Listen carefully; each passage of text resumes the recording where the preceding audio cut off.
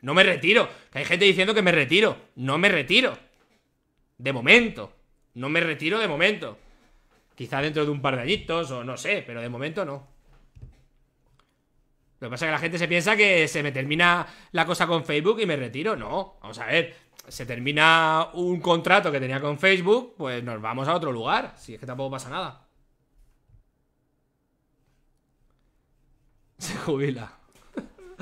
No, no, no me jubilo. No me, no me jubilo, voy a seguir haciendo vídeos y haciendo directos, directos pero, pero menos. Pero menos directos. No hay de verdad.